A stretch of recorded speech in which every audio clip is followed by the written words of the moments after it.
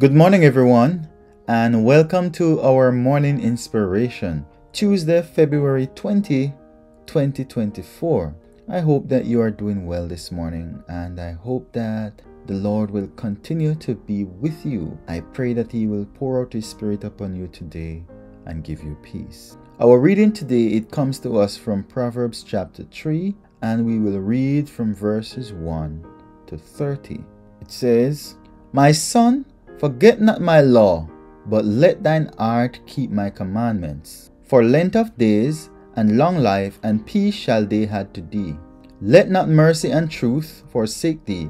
Bind them about thy neck, write them upon the table of thine heart. So shalt thou find favor and good understanding in the sight of God and man.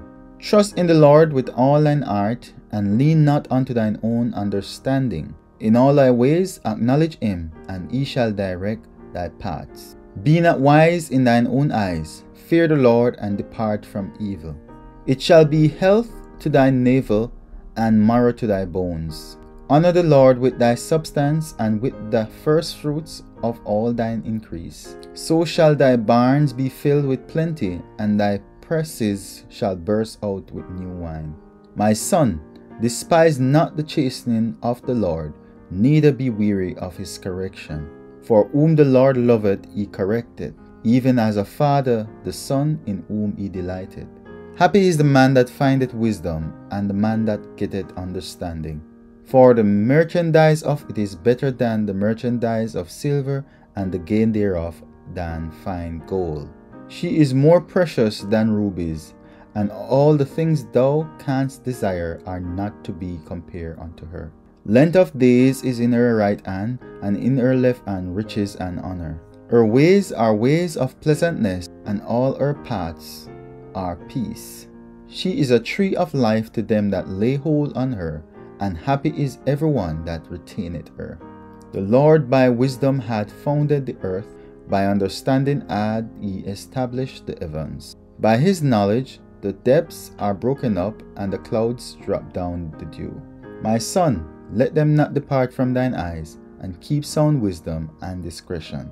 So shall they be life unto thy soul, and grace to thy neck. Then shalt thou walk in thy way safely, and thy foot shall not stumble. When thou liest down, thou shalt not be afraid. Yea, thou shalt not lie down, and thy sleep shall be sweet. Be not afraid of sudden fear, neither of the desolation of the wicked when it cometh for the Lord shall be thy confidence, and shall keep thy foot from being taken. Withhold not good from them to whom it is due, when it is in the power of thine hand to do it. Say not unto thy neighbor, Go and come again, and tomorrow I will give, when thou hast it by thee. Devise not evil against thy neighbor, seeing he dwelleth securely by thee. Strive not with a man without cause, if he have done thee no harm. And I say, Amen. We give God thanks this morning for His holy word again. Surely, we are blessed to have His word so that we can learn more of Him and so that we can gain understanding of the things that we need to do and so that we can become better by studying and growing in Him. This morning, reading speaks a lot about wisdom, and wisdom is something that all man needs. It is important for us to know how to apply wisdom to our life because when we do, it will save us a lot of trouble and heartache. So, when we acquire knowledge, because knowledge and wisdom is two different things. Knowledge is the information that you acquire and applying or the application of that information is wisdom. So that is the difference between the two.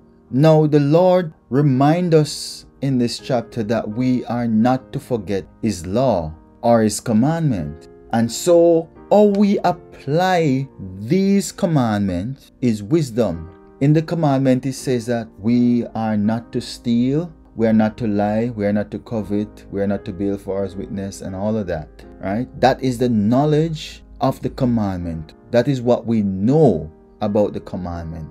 And so now we are to put that which we know into practice, and that is wisdom. So we will not lie, and we will not steal, and we will not have any other gods in our life apart from God Himself. So that is wisdom, or that is applying wisdom. And by doing so, it says that it will prolong our life, it will give us peace. When you abide by the commandment, when you don't steal, you don't have to worry about looking over your shoulder, you don't have to sleep with one eye open. Because what? You have nothing to worry about because you know you are living honest and good life. You may not have it all, but you know that you are living a life that is honest and that is good. But for somebody who who is not keeping the commandment and who is breaking the commandment and doing some of these things that they do, they have to constantly be watching their back because what? Is either the police is out to get them or whoever they have offended or robbed or hurt is out to get them. So they have no peace. It also tells us that we are not to forget mercy. So we should show mercy to others and we should not forget the truth. So we should live by the truth. We should wrap them around our neck, as the reading say. So they should always be in our mouth. We should always speak truth and we should always execute mercy in a fair manner. Okay? And when we do that, then, and when we do that, then we will find favor with God and man. Okay? It goes on to tell us that we are to trust in the Lord, not halfway, but wholeheartedly, with all our heart, and that we should not lean to our own understanding, but that we should acknowledge Him in everything that we do, because God knows best. And so when we lean on His wisdom, he is able to guide us in the way that we are to go. But when we lead on our own understanding, when we depend on ourselves, then we will make a mess out of things. And then at the end of the day, we still have to go back to Him.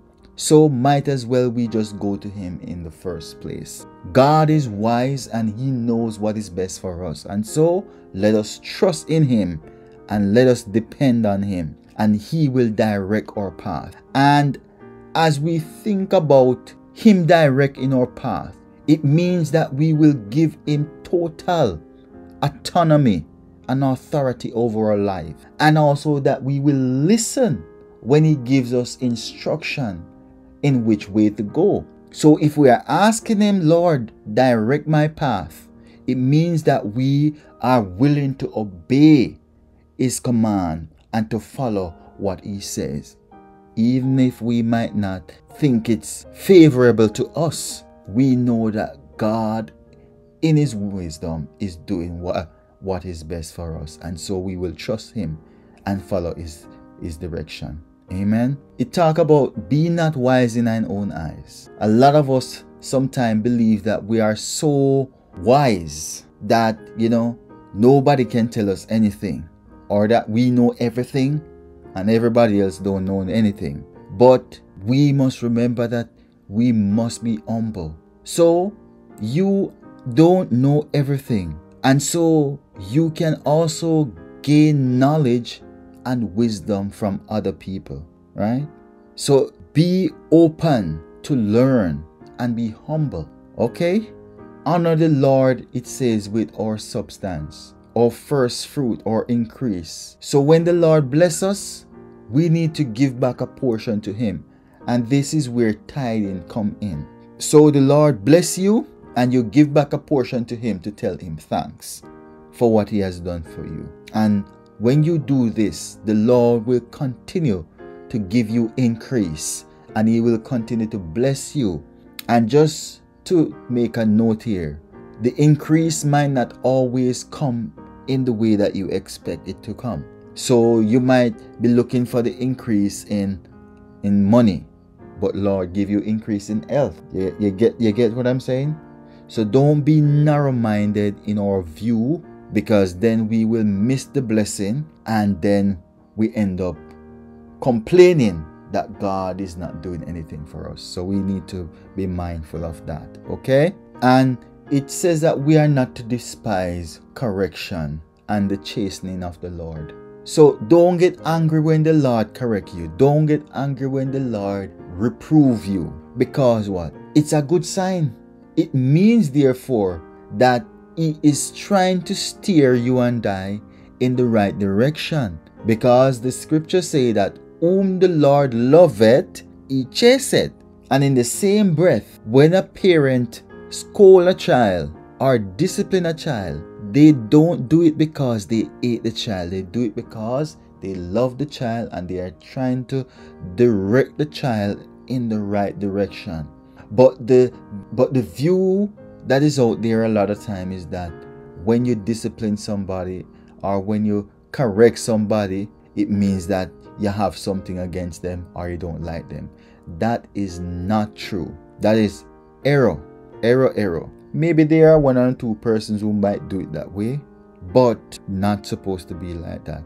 And in most cases, that's not the case. Okay? So don't get upset when people correct you. I know sometimes times it's not easy to be corrected, you know, because you don't want to be reminded of what you do wrong or whatever the case may be, but it's for your good, it's for my good. And so take it with some water it's a hard pill to swallow, but get a glass of water and swallow it. It will make you feel better afterwards. So the bad feeling will only last for a moment, but the result that will come from you eating the correction will be something that you will be happy for in the long run. All right? Okay. So a lot of what the verse is saying to us is that wisdom is priceless and it is something that we should all desire to acquire. It is something that we should strive for because when we when we apply wisdom in our lives, it makes us better in the choices that we make, in the things that we do and how we do them, and it makes our life a lot more simpler and a lot more stress-free. Because what? We are following the precepts that are there to help us do and to live righteous in the light in the sight of God. Okay? And there's something up in the verse that it states also that we must be kind to others. If we're in a position to help somebody, we must do so. Don't say that you will help them tomorrow if you can help them now. You understand? So do it now if you are in the position to do it now because you don't know about tomorrow. Tomorrow might just be too late. So if you are able to help now, do it now. If you are not able to do it now, well then you can do it when you are able to do. Okay? And also never try to to stir up things with others. Try to live peaceable with everyone. Okay? Love your enemies Love those who treat you bad be kind because you are not representing yourself. So you can't deal with the matter how you see fit. You must trust God to deal with it for you. Okay? And the final thing that I want to say is this that we must not envy the oppressor and that we should not seek to walk in his footsteps. So a lot of us sometimes we look at others and they seem to be prospering and these people aren't even serving God.